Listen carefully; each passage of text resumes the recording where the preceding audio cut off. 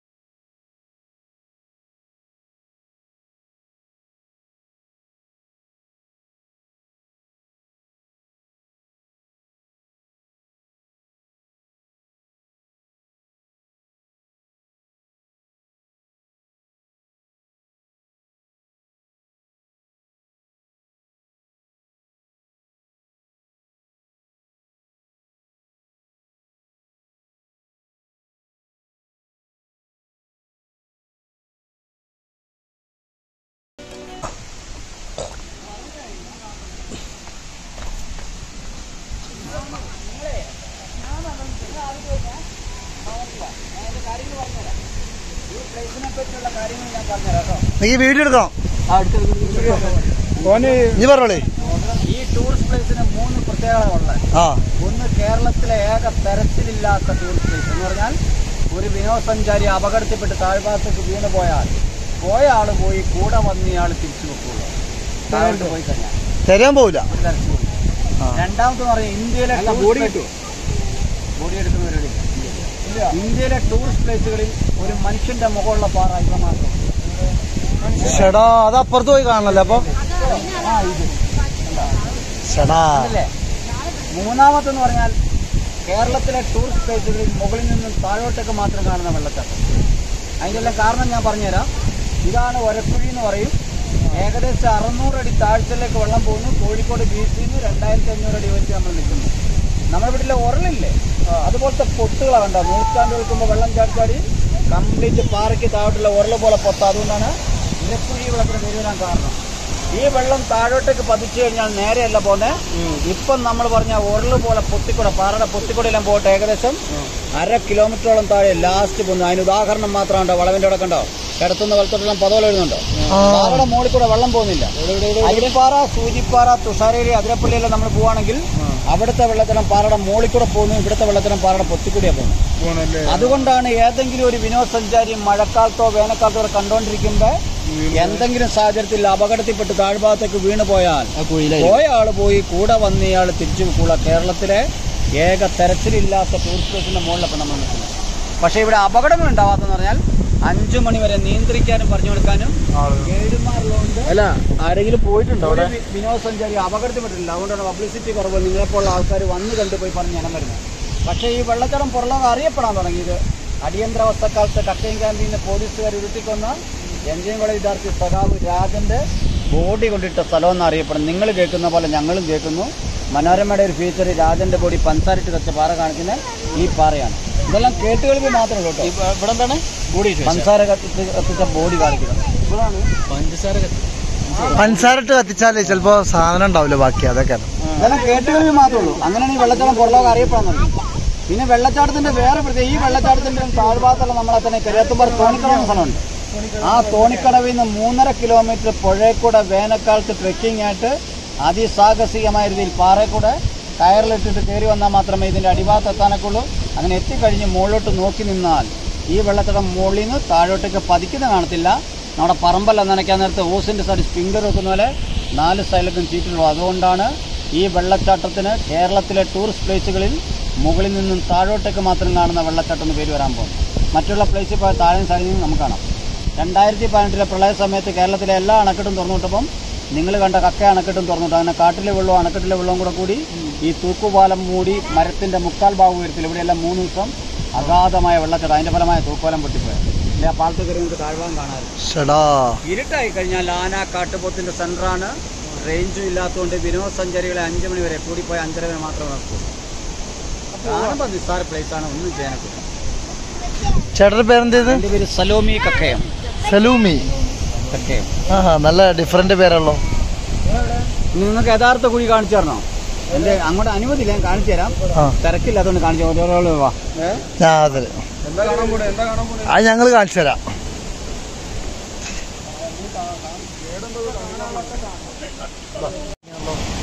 ഇത് ഇവിടെ ചാടും ഉണ്ടോ താഴെയൊന്നും എത്തുന്നില്ല കേട്ടോ വെള്ളം ഉണങ്ങി ഇവിടെ ഇവിടെ ഇവിടുന്ന് ചാടിയ പിന്നെ അടിക്ക് കാണും. അല്ല. അതാണ് നമുക്ക് ഇവിടെ ഈ ഒരു പാറ പിടുത്തം ഒന്ന് മാറണം. ഞാനൊന്ന് കണ്ടു ഒന്ന് മാറണം വരി വരി വരി വരി. നീ നീ പോരെ. ശ്രദ്ധിക്ക്. വാ.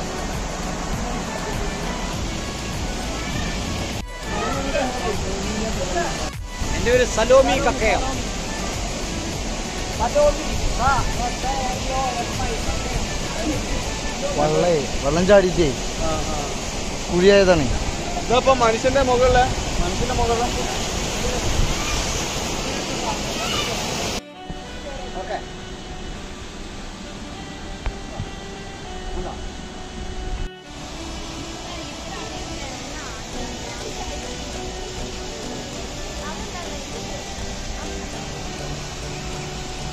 അടിയിലേക്ക് ഞാൻ പറയുന്നത് മൂന്നര കിലോമീറ്റർ കരിയാത്തുംപാറ നിന്ന് മൂന്നര കിലോമീറ്റർ പുഴയക്കൂടെ വേനക്കാട്ട് ട്രക്കിംഗ് ട്രെക്കിംഗ് ആയിട്ട് അതിസാഹസികമായ ഒരു പാറയിൽ കൂടെ കയറിലിട്ടിട്ട് കയറി വന്നാൽ മാത്രം വരുന്നത് അങ്ങനെ എത്തിക്കഴിഞ്ഞ് മുകളിലോട്ട് നോക്കി നിന്നാൽ ഈ വെള്ളത്തിൽ മൂന്ന് താഴോട്ടൊക്കെ പഠിക്കുന്ന കാണുന്നത് പറമ്പെല്ലാം നനയ്ക്കാൻ ടൂറിസം ഇല്ല വെക്കുന്ന പോലെ അതുകൊണ്ടാണ് കേരളത്തിലെ ടൂറിസ്റ്റ് താഴോട്ടേക്ക് മാത്രം കാണുന്നത്